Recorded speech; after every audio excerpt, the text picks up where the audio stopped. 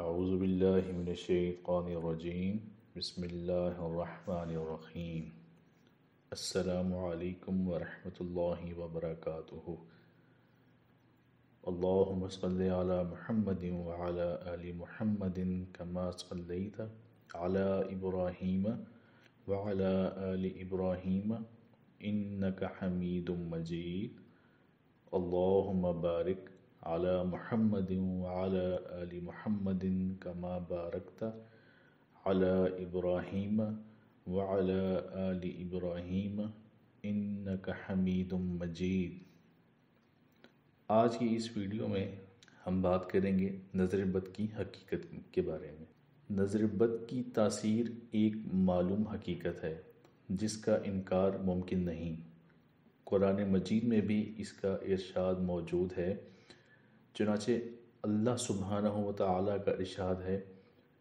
व ई यकादुल्लजीना कफरू लयुज़लिक़ून का भी अबसारहम ये सूर्य कलम की फिफ्टी वन इक्यावनवी आयत है।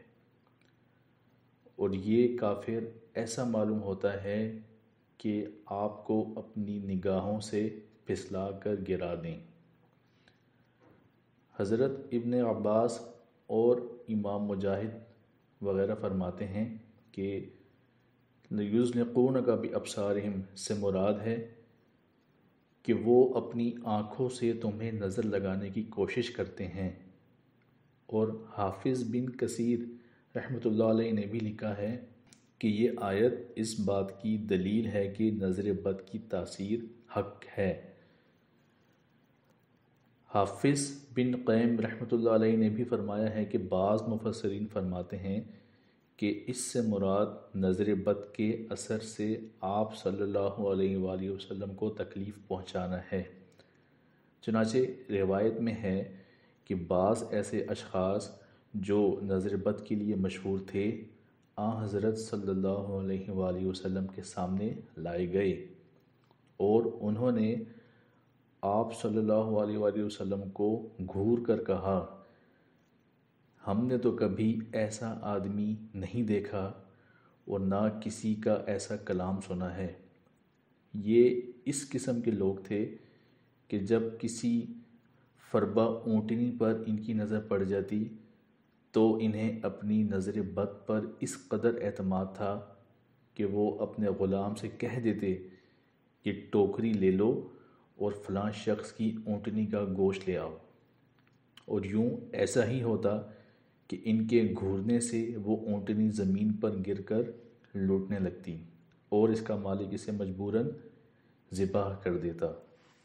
इसी तरह अल्लाह ताला ने हज़रत याकूब अलैहिस्सलाम के बारे में फ़रमाया कि उन्होंने अपने बेटे को मिस्र भेजते हुए नसीहत की कि या बनिया, ला तदखलू मिन बाबिन वाहिदिन, वदखलू मिन अबवाबिन मुतफर्रिका, वमा उगनी अनकुम मिनल्लाहि मिन शेइन। सूरह यूसुफ की 67 सड़सठवीं आयत है। ए मेरे बेटो, एक ही दरवाज़े से दाखिल मत होना, बल्कि अलग अलग दरवाज़ों में से दाखिल होना। मैं तुम्हें अल्लाह की तकदीर से नहीं बचा सकता इस आयत की तफसीर में हज़रत अब्दुल्ला रहमतुल्लाह अलैह बिन अब्बास मोहम्मद बिन काब रहमतुल्लाह अलैह, मुजाहिद रहमतुल्लाह अलैह जहाक तकादा वगैरह रह, फरमाते हैं कि हज़रत याकूब सलाम की नज़र बद से बचने के लिए इन्हें अलग अलग दरवाज़ों में से दाखिल होने का हुक्म फरमाया था, क्योंकि वो पैगंबर ज़ादे और यूसुफ सलाम के भाई थे, खूबसूरत और कद आवर जवान थे। वो ग्यारह के ग्यारह एक साथ दाखिल होते तो हो सकता था कि किसी हासिद की नज़र का शिकार हो जाते। यही बात अल्लामा करतबी ने अपनी तफसीर में और दीगर मुफसरीन कराम ने भी कही है। हदीस पाक में भी नज़र बद की तासीर और इसकी हकीकत का मुख्तलिफ़ अंदाज में ज़िक्र आया है। चनाचे हज़रत अबू हुरैरा रज़ी तहों से मरवी है कि रसूलुल्लाह सल्लल्लाहु अलैहि वसल्लम ने फरमाया अलाइन नज़र का लग जाना हक है।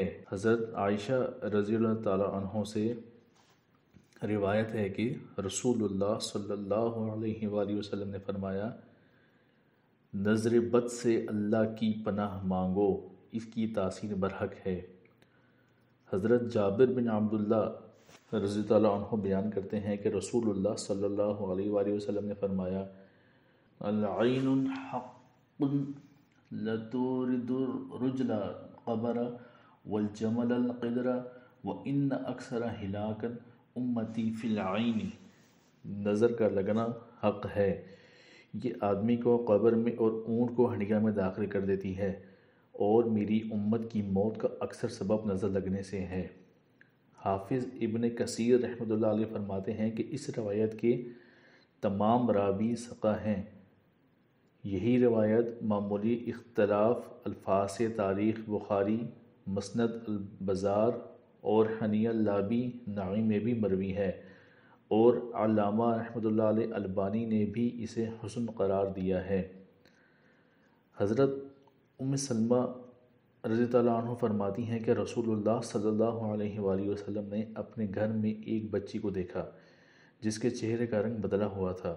आप सल्लल्लाहु अलैहि वसल्लम ने फरमाया, इसको दम कराओ, इसको नज़र लगी हुई है। हाफिज़ इब्न कसीर रहमत ने इस हवाले से मुतद अहदीस अपनी तफसीर में बयान की हैं। यहाँ इनका इस्ताद मकसूद नहीं।